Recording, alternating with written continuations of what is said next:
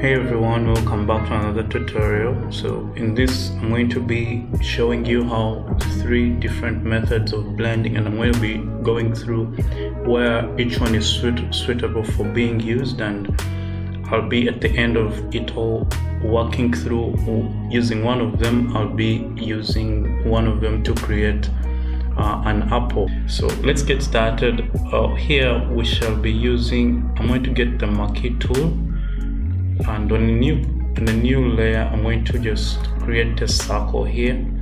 And I'm going to fill it with whatever background color that I have here. I have this background color so I'm just going to click alt backspace and it's going to give me that. Control D to deselect it and bring it in in there. Let me lock its transparency here. Uh, now to start out I'm going to get a brush tool and just define because I'm going to be creating the colors that I want to blend. So I'm just going to choose any random colors there is no specific order you can also choose any. You can even close your eyes and just choose any colors. So I'm going to use really colors that are, are very very uh, different or similar it doesn't matter. Okay let's just go with this and I'm going to duplicate this layer three times for, for kind of let me just duplicate the layer a couple of times. Now the first method we're going to begin with okay i'm going to look at transparency. It's going to be the the the smudging option. In the smudging option i have a special brush that i use for it and i've made a video in the painting tutorial that i made earlier. I made a video on how to use the smudging option the smudging brush. So using the this brush i'll leave it in the description below or you can also check out this video by gary vee oh, oh, sorry on that the one where i painted gary vee so i made a follow-up video on that. Again everything is there on how to create it if you're interested. But what i'm going to do here is going i'm going to first of all bring up this brush and explain a few properties here. When it has a strength of say 2 its its paint barely moves moves very very very little right? And when it has a, a strength of very a high value so its strength its paint will move very far okay? So when it's it's at two it will barely move okay? So this is the this is the principle on which we blend and then we if you want to blend smooth edges you decrease the strength. If you want to move the paint around you increase the strength. This is how you do it okay? So uh, when you when we are starting now if for example you notice that once you blend because this this brush kind is, is kind of ram heavy if you find that it's not working properly just go here to images and then change your image resolution to 72 if it's at 300 then it will be able to work properly. Okay so starting out this uh, image is kind of uh, first of all this this layer here we have we can just increase it. But the problem with this the the, the, the, the thing that I don't like about this brush is uh, it works destructively. So what i mean is when you're painting with it it's like um, you, are making one final decision okay? So it's it, whatever you you make you have to make your best your best decision and then walk from there. So you cannot really um, you you cannot really make different like variations unless you duplicate the layer so which means here because here if you want some sometimes you can just make a new layer and paint but this for this brush that doesn't work. So that's what i mean by it works destructively. So whatever decision you make it's it kind of has to be uh, final. Okay but this brush is very good when you're working with uh, with the, with skin tones and trying to paint uh, a seamless skin. So if you're trying to go for realism, for example, this can be a very very good brush to go on with because it doesn't matter which colors you're using. So as you can see for example here i have very very white colors and you can see the colors are moving all over the place. So but this helps me to position the colors. Okay so anyway when you when you finish for example positioning where you want your colors to blend with each other. Then you can change your trans your strength maybe down to six and then you begin blending. And that means that the colors are going to move very very slowly uh, and then they're going to blend with whatever is surrounding them.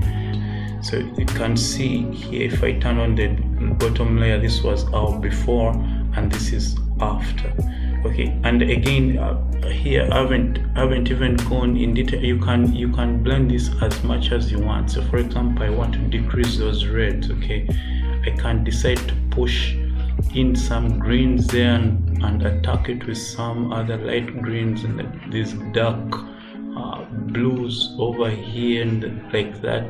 And then once I've reached where I want to and then I can uh, kind of go in there and just blend it over. And it, it, it will work uh, very very well. And so this this is one of the methods that you can use to um, blend your work uh, very well. Okay so the next one the next one we have is the normal blending brush which is the mixer brush. So the mixer brush which is this tool here in the fine in the brushes it is this tool here. So the mixer brush is uh, the second one that we have. And uh, for this the way it works it has a very very uh, different approach to how it works. But uh, let's for example duplicate this layer again to uh, maybe twice or three times because I'm going to be demonstrating other uh, uses of it.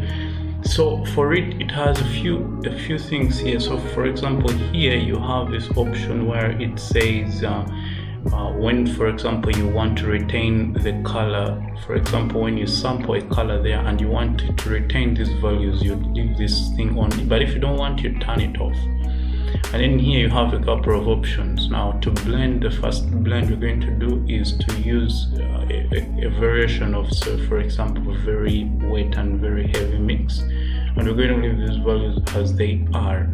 And when you when you when you come here and try to blend okay so here i'm just getting these colors and blending like this. So so this this can help you when if for example let me just on the transparency.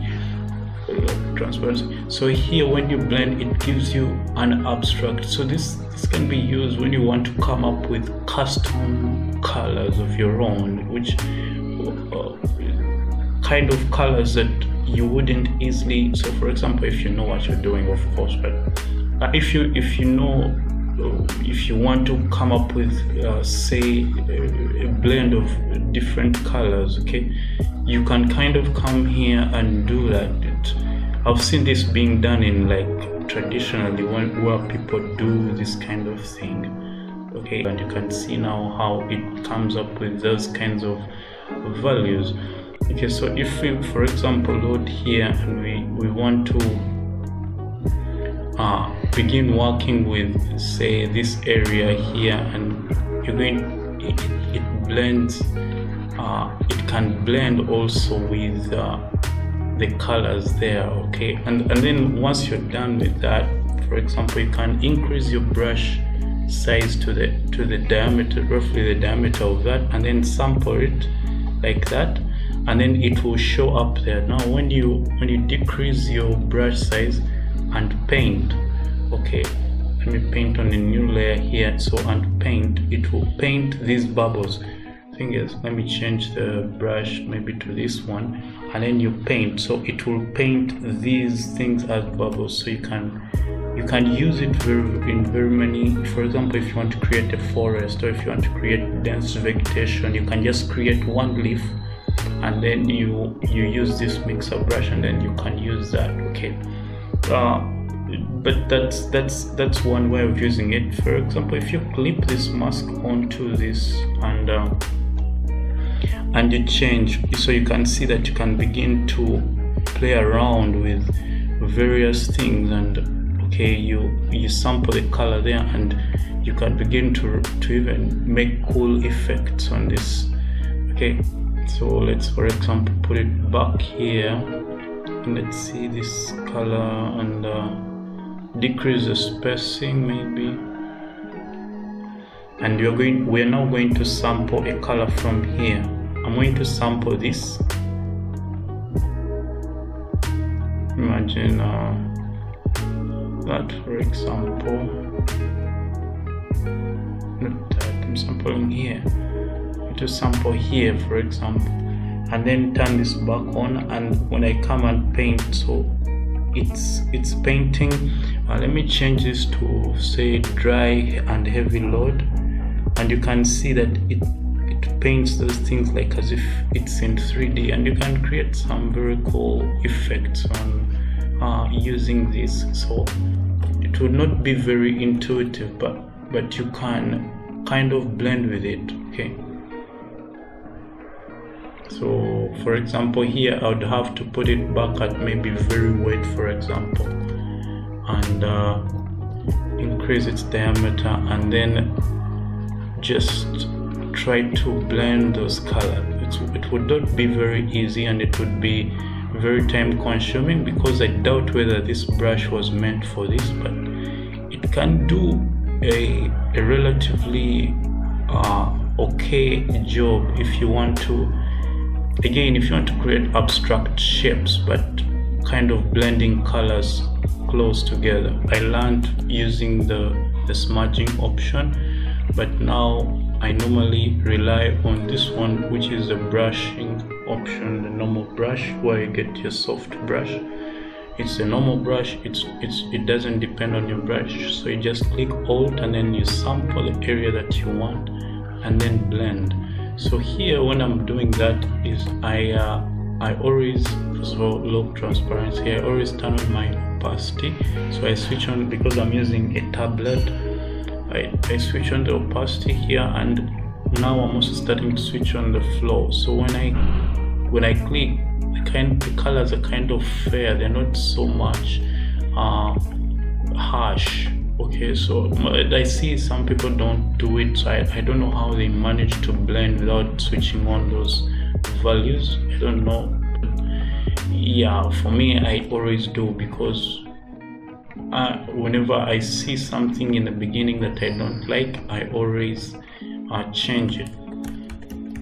But what i like about this besides the uh, the thing the simplicity and the fact that you only use brushes is is that here you can I've already kind of worked on this layer but you can for example it work non-destructively. So versus these two methods are destructive. This one is not destructive. What i mean is you can add a new layer on top of it and then you do the same thing. So you get your brush and then just begin sampling.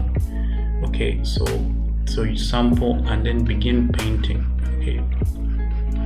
So the thing is when you're done with this you can you, you can easily then go back and see what you didn't like or whether you even like the result of the painting or not so here what you do is you just click once here and then click like that. For example if i'm blending this i click on the transition there where it's transitioning into there and then I click like that and then just so if I if I want this to blend with this I'll click here and then I move towards that color while I'm blending towards the edges of that color.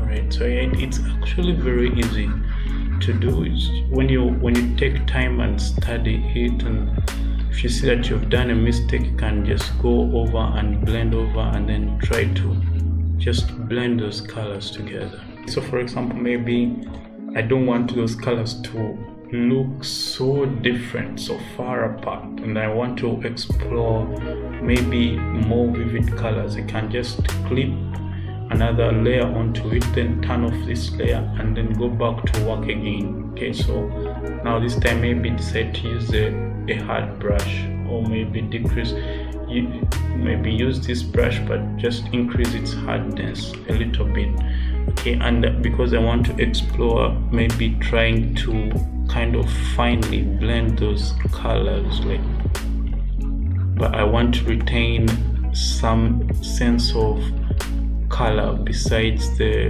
or the just what's happening okay so. So here you have this for example and when you turn on you have two options. Okay i'm now going to demonstrate this i'm going to paint this uh, apple here.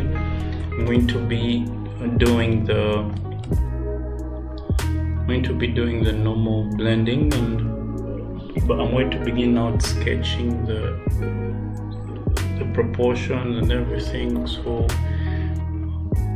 uh, again it's still practice for me. I can understand form but I'm still struggling when it comes to uh, getting my uh, values right. So yeah I but I'll try as much as possible to get as close as I can to the real uh, values of color and stuff. There are a lot of things to learn and as you can see for example my form is off and everything but but when you practice it gets better with time so it's much better that you kind of practice the other thing that I want to do is to add those speckles, spec, specular speckles. So going to create a very small, those kind of size because I see they are kind of, they're kind of round and contradict. They're kind of round, so I'm going to create a very small brush like that. Give it a color backspace so it's Control Z on a new layer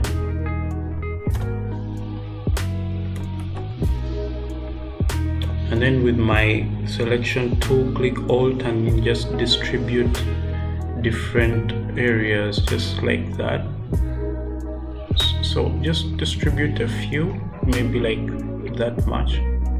And then just click on any of them and uh, change their size by scaling them down to make smaller smaller versions so distribute them in a in a in a sense that makes it feel more uniform a little bit or something.